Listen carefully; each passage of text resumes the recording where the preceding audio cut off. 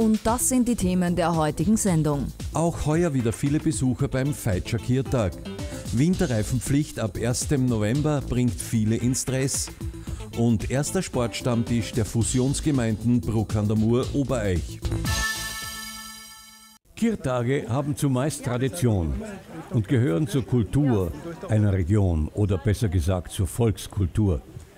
Ein Beispiel dafür ist der Feitscher Kirtag. Wetter und Stimmung haben gepasst, Gebrauchsartikel wurden immer wieder bestaunt und sogar zum Verkaufsschlager.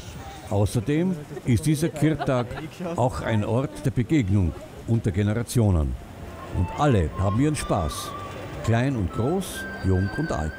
Der Kirtag ist zweimal im Jahr, im Frühjahr und im Herbst.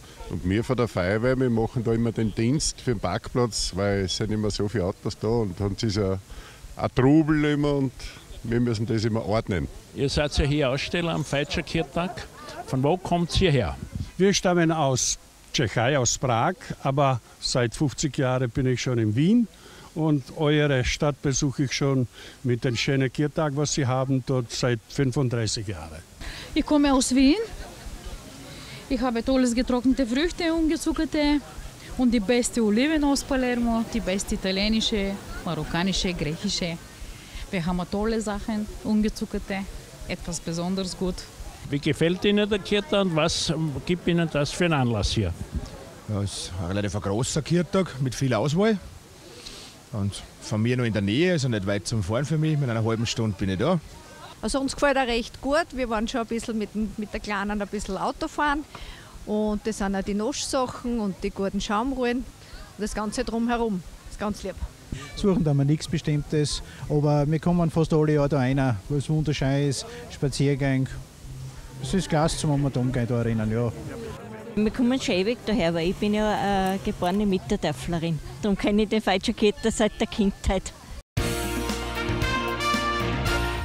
Der Herbst ist die Jahreszeit, wo neben angenehmen Tagen und Wochen auch die Stunde für den Autofahrer schlägt. Urplötzlich bricht der Winter herein. Und jetzt heißt es, gerüstet zu sein für die kommenden Wochen und Monate. Winteraus- und Umrüstung sind an der Tagesordnung. Wir haben beim ÖAMTC in Bruck an der Mur nachgefragt und vieles ist dem herkömmlichen Autofahrer noch gar nicht bewusst. Es ist natürlich so, dass man rechtzeitig schauen sollte. Jetzt ist es natürlich so, dass es sehr überraschend gekommen ist innerhalb von ein paar Tagen, aber natürlich auch nur in höher gelegenen Straßen. Aber ab 1. November haben wir die Winterreifenpflicht wieder. Da sollte jeder die Winterreifen drauf haben und natürlich auch Frostschutzmittel in der Scheibenwaschanlage gefüllt haben und den Kühlerfrostschutz geprüft haben und das Auto winterfit gemacht haben. Winterfit, äh, ist das alles, was man dazu braucht, was Sie jetzt aufgezählt haben? Oder gibt es da noch Besonderheiten, wo man sagt, auf das sollte man achten?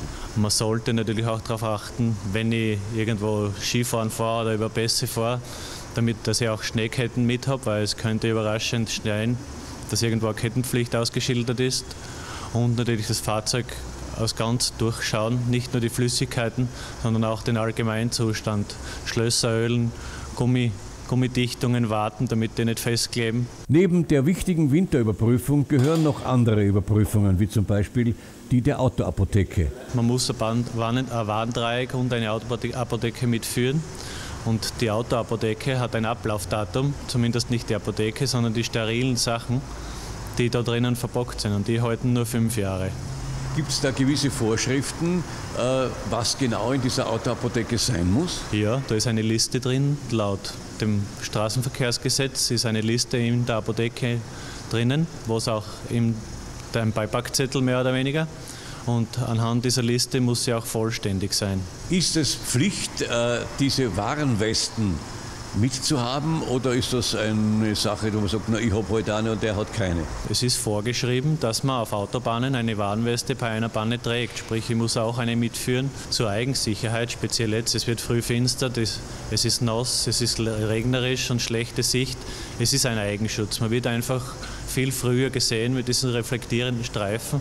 Ich würde sie auch in der Stadt tragen, weil die Straßenbeleuchtungen sind nicht immer so hell dass man gleich was erkennt. Man hat oft dunkle Kleidung an und es ist für die Autofahrer natürlich dann schwer zu erkennen, wenn da jemand steht. Und zum Eigenschutz würde ich es auf jeden Fall verwenden. Sehen und gesehen werden sind besondere Sicherheitspunkte.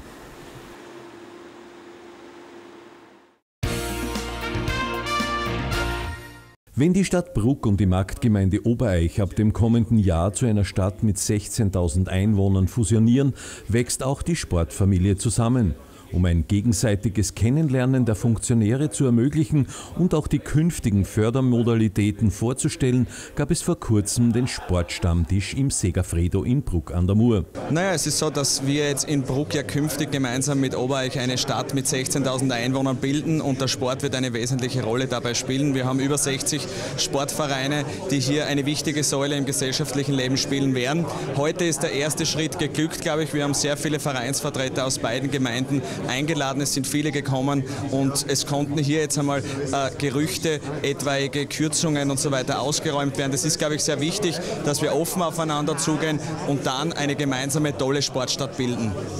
Ich glaube, es ist sinnvoll, wenn man seine Erfahrungen austauscht.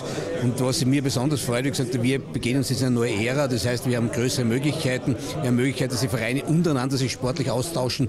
Nicht nur mit Jugendspielern oder mit Kampfmannschaftsspielern, sondern auch die Ideen sich austauschen. Und ich denke, äh, Stadt mit 16.000 Einwohnern, mit 60 Vereinen, glaube ich, hat schon einen Zukunftswert für unsere Jugend. Das ist für mich ganz, ganz wichtig.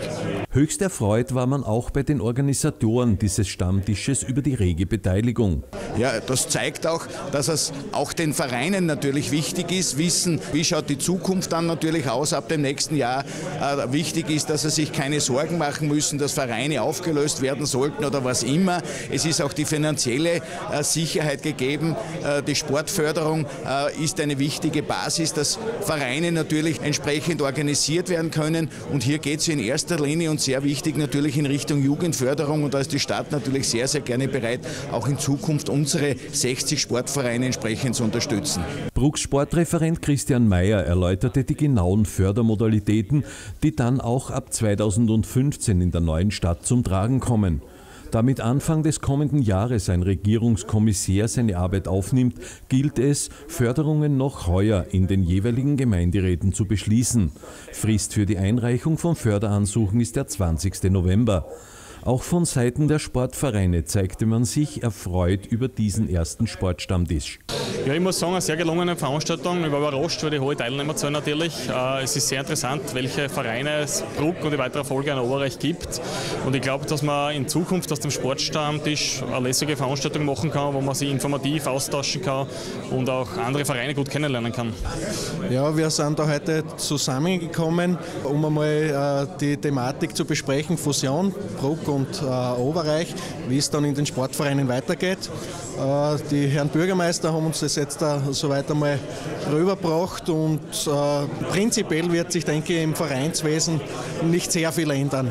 Als Sportreferent kann ich sagen, der Sport wird uns immer am Herzen liegen und die Sportförderung sind die Basis äh, für die Vereine und aus diesem Grund bin ich natürlich der Vertreter der Vereine im Gemeinderat und ich bin sehr stark dafür, dass diese Förderungen in die Höhe gehen und nicht äh, gekürzt werden das ist eigentlich meine Aufgabe als Sportreferent. Im ersten Jahr gibt es überhaupt keine Kürzungen. Ich kann aber versprechen, und das haben auch die Bürgermeister gesagt, es wird auch in Zukunft kein Verein zu kurz kommen. Es wird kein Verein aufgelöst. Im Gegenteil, die Sportstadt Bruck wächst und wir werden alles daran setzen, dass die Vereine auch in Zukunft in dieser Form erhalten bleiben.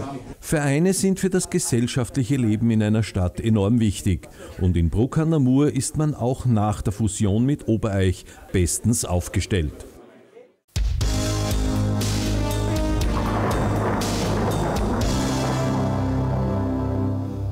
Heute war es zunächst wieder nebelig. Erst am späten Vormittag lichteten sich die Nebelfelder und es gab wieder viel Sonne bei Maximalwerten um die 12 Grad. Morgen Donnerstag kommen von Südwesten Wolken auf uns zu und die Nebelfelder werden zäher. Vom Enstal bis ins Mariazellerland kann es auch leicht regnen. Die Höchstwerte liegen morgen bei maximal 15 Grad.